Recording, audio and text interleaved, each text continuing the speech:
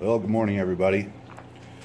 It's boat building day, and uh, we got quite a bit done on the boat since I did the last video. Um, I'll give you a shot of it here in a minute, but I wanted to talk to you a little bit about some of the things I've been thinking about, and uh, I think I'm actually going to make a few changes.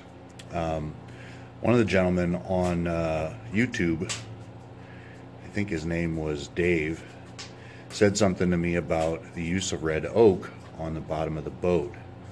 And uh, I got to thinking about that and uh, the way that the shipwright went ahead and uh, did that uh,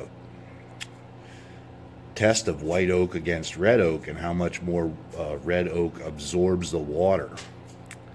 And that combined with the idea of the bottom planking um, having to seal itself up has kind of led me to the idea of wanting to seal the bottom of the boat and not have it just naturally shore itself up and, and make itself watertight. So that's what I'm planning on doing at this point.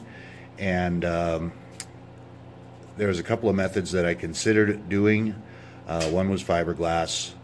The other was uh, just putting a few coats of epoxy resin uh, to encapsulate the entire bottom planking.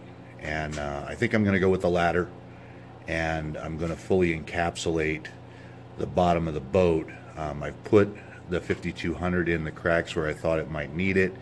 Uh, I've now sanded it all down and so the next step here is going to be to encapsulate uh, the entire bottom of the boat. I'm going to do that with uh, my two-part epoxy uh, resin. I'm going to roll it on and uh, first I'm going to make some uh, quick uh, you know little spot checks to make sure everything's good and smooth and everything like that um, and we'll get you a picture of what I'm going to start with here in a couple of minutes.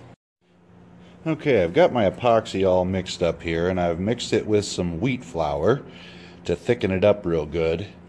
And the first thing I think I'm going to do is I'm going to go down the seams right at the decking uh, to seal those up because that's the places where I couldn't get the 5200 in there. I'm going to do that on all the sides on all the seams. So I'm going to go up and down and we'll get a shot of it when I'm done.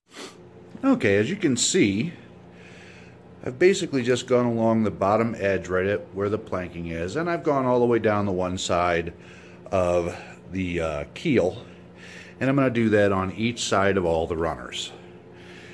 And after I'm finished with that, then I'm going to use a roller with some clear epoxy and no additives, no wheat to it. And I'm just going to roll out the rest of the, uh, the decking on the bottom here. And uh, after I'm, you know, good and dried, I will uh, come back, lightly sand it. And I think I'm going to do that three times. So that's the plan. Well, I just finished with the encapsulation. I got everything put together uh, pretty well. I wanted to give you guys a, a shot of what it looks like and uh, I've got some new subscribers out there and I hope that there's some people out there with some advice for me because of course I don't have all the answers and um, looking to get this thing flipped over as soon as possible. But uh, since I've now encapsulated the bottom of the boat um, thinking that since it's going to be trailered on a regular basis that it shouldn't need uh, an anti-fouling bottom paint. Um, let me give you a shot of, of what I've got. So there's the picture of the boat after it's been coated with epoxy. And I put a nice thick coat of epoxy on there.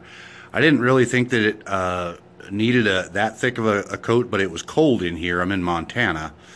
And uh, my epoxy just did not warm up fast enough.